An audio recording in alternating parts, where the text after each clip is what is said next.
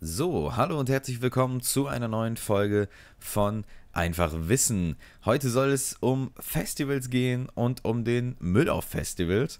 Ähm, ich glaube, jeder hat es mitbekommen, es ist gerade einfach medial ein ganz großes Thema, sowohl auf äh, den Social Media Seiten als auch ähm, bei den großen bekannten Boulevardblättern ähm, sieht man die großen Schlagzeilen, wie zum Beispiel äh, Sie wählen grün und vermüllen die Festivalgelände oder ein Großteil der grünen Wähler wirft ganz fahrlässig Plastikmüll ähm, umher. Das heißt, es ist ein ganz großes mediales Thema, natürlich auch im Moment ähm, durch Rock am Ring und Rock im Park.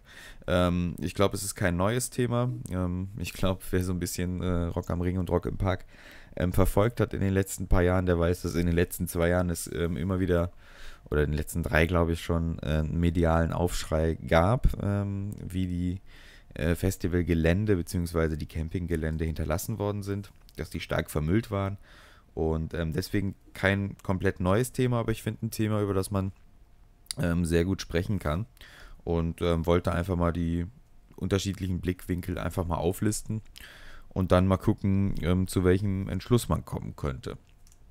Also, es gibt ja die einen, die dann sagen, hey, macht alles weg, ja, hinterlasst diesen Ort so, wie ihr ihn vorgefunden habt. Und dann gibt es die anderen, die sagen, und das ist jetzt erstmal diese Kontra-Seite, diese Kontra, wir machen den Müll nicht weg Seite, um die es erstmal gehen soll, ähm, das dagegen spricht, dass halt große Müllentsorgungsunternehmen extra dafür bezahlt werden. Das heißt, wenn ich eine Campingkarte kaufe, entrichte ich ein gewisses Geld, was äh, dazu verf zur Verfügung gestellt wird, um ähm, dann den Müll, der entstanden ist, wegzumachen. Das heißt, große Maschinen rollen dann über ähm, das sogenannte Zeltgelände oder über den sogenannten Zeltplatz und ähm, räumen natürlich den ganzen Müll auf. Natürlich muss der große Müll dann nochmal besonders ähm, eingesammelt werden, aber dieser Kleinmüll, da würden diese Leute eh drüber fahren. Das heißt, ich errichte mein Geld und dafür wird dann natürlich die Arbeit gemacht. Das heißt, ob da jetzt mehr oder weniger liegt, das ist im Prinzip egal, weil sauber gemacht wird da eh. Das ist die Kontraseite. Die Pro-Seite ist natürlich eher, hey, wenn ihr irgendwo hingeht, dann hinterlasst es doch bitte so, wie ihr es vorgefunden habt.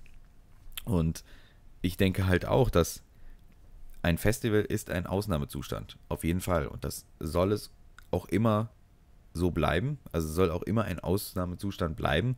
Das heißt, drei Tage, äh, keine Ahnung, kippe ich mir das Bier über den Kopf, esse nur Ravioli und meinetwegen werfe ich auch erstmal meine Bierdosen einfach in die Ecke, einfach weil es cool ist, ja.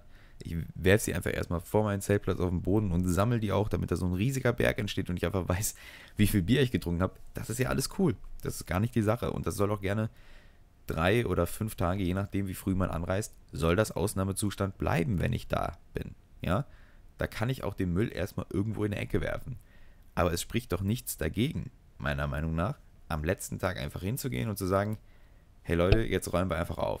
So als Gruppe. Ne? Oder wenn man einzeln ist, dann hat man natürlich auch einen kleineren Platz. Und ich denke, dass jeder, der schon mal auf dem Festival, Festival war und der dann aufgeräumt hat, der weiß auch, dass das, das dauert maximal eine Stunde, dann wirklich alles mal zusammenzupacken.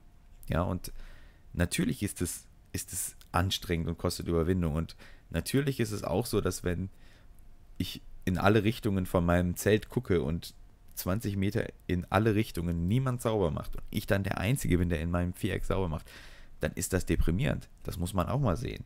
Ja, und auch jetzt das, was in den Medien ist, dass dann gesagt wird, oh, sie, sie wählen grün und ähm, räumen ihre Zeltplätze nicht auf. Ähm, ich weiß ja, zweitens, das sind ja gar keine, das sind erstmal gar keine bewiesene Zahlen, weil wir wissen ja gar nicht, wer was gewählt hat und wer wie viel Müll hinterlassen hat natürlich, und das wird so sein, wird es auch Leute geben, die grün gewählt haben und die ihren Zeltplatz schlecht hinterlassen haben. Das ist so, das wird es immer geben. Ähm, aber es ist natürlich so, wie kann ich auch die Menschen dazu bewegen, ihre Zeltplätze sauber zu machen? Und da kommen natürlich auch nochmal die Veranstalter ins Spiel. Klar gibt es die Eigenverantwortung. Wir können nicht nur die ganze Verantwortung auf die Veranstalter schieben. Aber wir müssen natürlich auch sagen, und das wird teilweise natürlich auch sehr gut umgesetzt, aber ich habe auch gehört, dass auf dem Rock am Ring teilweise nicht so gut umgesetzt worden ist, Mülltüten verteilt werden. Ganz einfach, es müssen Mülltüten verteilt werden. Das ist schon mal der erste Schritt. ja, für Leute, die keine mitgebracht haben oder um Leute einfach nochmal daran zu erinnern. Ja, und ich glaube, je mehr, du, je mehr Leute du motivierst, das heißt, je mehr Leute um einen rum sauber machen, desto mehr hat man natürlich auch Bock, selbst sauber zu machen, weil du willst ja am Ende nicht das schwarze Schaf sein. Aber du willst auch nicht das schwarze Schaf sein, was nur sauber macht. Das ist ja auch ganz klar. Und ähm, da muss, muss, muss jeder Veranstalter eines Festivals, glaube ich, äh, proaktiv da werden und dann sagen, hey, wir verteilen schon mal Mülltüten und zusätzlich vielleicht etwas wie ein Müllpfandsystem, was natürlich ja dann noch am Ende schwer zu überblicken, so wer hat welchen Müll gemacht, wer ist für welchen Müll verantwortlich. Natürlich sagt dann jeder, hey, dafür bin ich jetzt zum Beispiel nicht verantwortlich, ne? Warum macht das nicht, warum machen die das nicht weg? Das ist natürlich sehr schwierig. Aber wie gesagt, es gibt diese Pro- und Kontra-Argumente. Ähm, die sind da.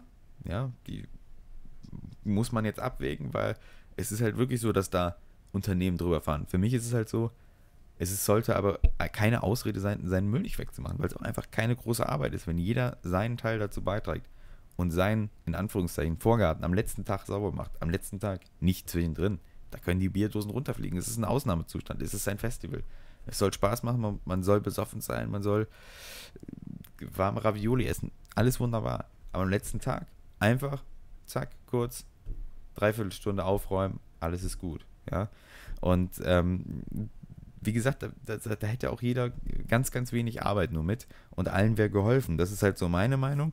Auch wenn dann am Ende noch ein Müllunternehmen nochmal drüber guckt. Ja, wir werden es wahrscheinlich auch nie erreichen, dass jeder seinen Müll wegmacht. Darum geht es nicht. Aber dass wir dass wir das einfach erreichen, dass mehr Leute dann Zugang finden. Und ich glaube auch, dass viele das tun. Also im Moment in den Medien wird es ja so dargestellt, als ob niemand seinen Müll wegräumen würde. Also ich persönlich kann nur aus der Erfahrung sprechen, einmal Rock am Ring und äh, auch mal auf dem Summer Jam Festival gewesen zu sein. Und da ist es auch schon so, dass auch viele zumindest ihren Müll wegräumen. Also ich möchte das auch gar nicht, dass es jetzt zu negativ wird. Weil es gibt auch die Leute, die ihren Müll wegräumen. Und davon gibt es auch viele. Aber es gibt natürlich auch viele, die ihren Müll nicht wegräumen. Also das hätte ich vielleicht mal vorweg sagen sollen, aber es gibt auch die Leute und das sind, ist auch gar keine Minderheit, es ist auch keine komplette Minderheit an Leuten, die ihren Müll wegräumen. Trotzdem ist es natürlich ein gewisses Problem, was entstanden ist. Und was heißt, was entstanden ist, was es früher vielleicht auch schon gab, aber da war es natürlich nicht so medial. Und es ist natürlich klar, dass einem das dann um die Ohren fliegt, wenn die junge Generation grün wählt und sich dann, also wie gesagt, wenn man das natürlich so pauschalisiert, ähm, dann ihren Müll nicht wegräumt. So. Das war so ein bisschen die Meinungen von allen Richtungen, die man so ein bisschen gesammelt hat.